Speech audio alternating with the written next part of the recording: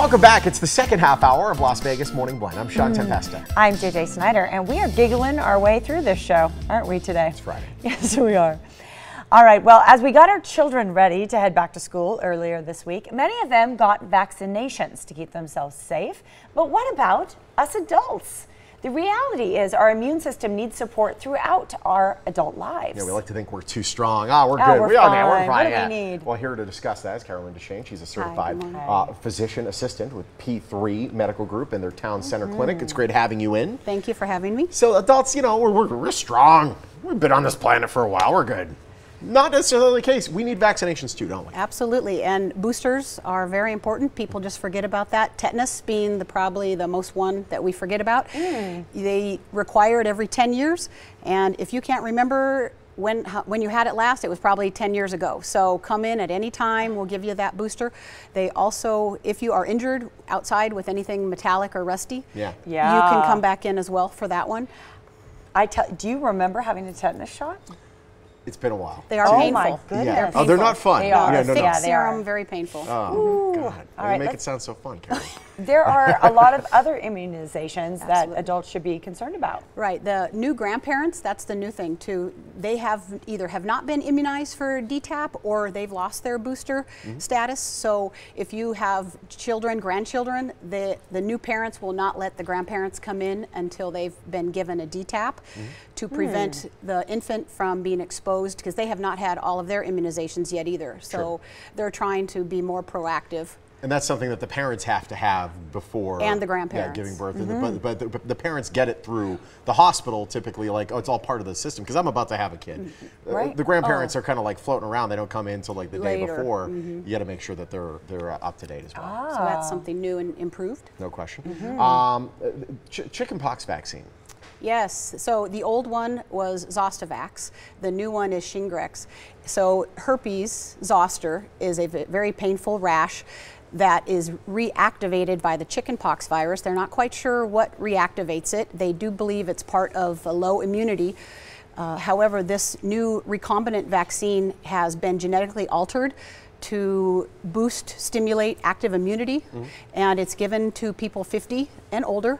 It is a two shot series. You get the first one whenever, and then the second one at either two to six months. Hmm. If you m- miss the time and you go a little bit farther, you can get the second shot at any time. You don't have to restart. The statistics for decreasing the incidence hmm. is 97% Wow. on people aged 50 to 70 hmm. Wow. and 91% aged 70 and older.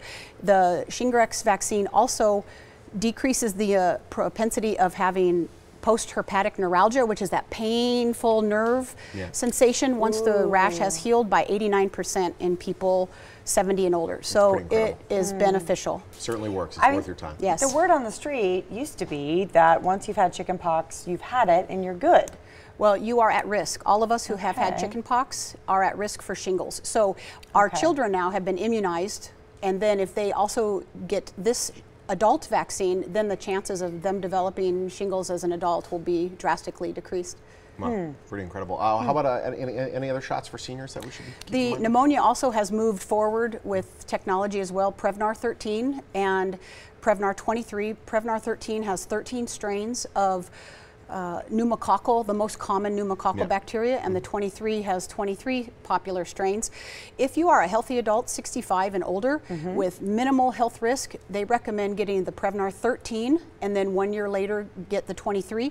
But if you are 64 and under and you have severe uh, illness like emphysema, diabetes, if you smoke cigarettes, and alcoholic, immunocompromised, they recommend that you get the 23.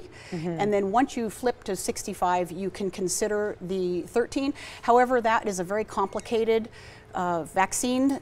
Uh, schedule, so it's best to talk with your primary care clinician on which one's right for you. Just don't go to the pharmacy and ask for it because you might not be getting the correct one. Gotcha. Yeah, it sounds like it, you, you've brought up a lot of different immunizations. It sounds like it'd be best to go in and consult with your healthcare professional and get what is appropriate for you. For the pneumo- Right, especially. yeah. Mhm. Speaking of going in, there's uh, several places, new places to go into for P3. You have new Yeah. locations. We have a grand opening actually Mm-hmm. for the business park on August 21st, and then the West Sunset on August 23rd, and then my clinic will be August 24th at Wow. the town center.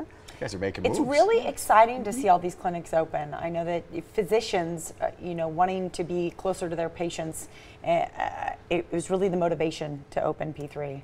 And it, I love this. There, there's five locations open Correct, already right and now. three more opening. Opening, yes. Okay, wow. And there's just not enough primary everywhere. care providers here in Las Vegas. is a fact. So Yeah. we do what we can do and try to serve the community the best we can. Absolutely. Well, great. it's very welcomed, and it's great having Yeah, you. thank you so very much.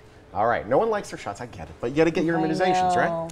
You do. Make sure your immunizations are up to date with help from P3 Medical Mm-hmm. Group. This morning we featured their Town Center Clinic. The Town Center Clinic information is up there on your screen. P3 Medical Group has five clinics open, another three opening next week, and they are proud sponsors of the Morning Blend.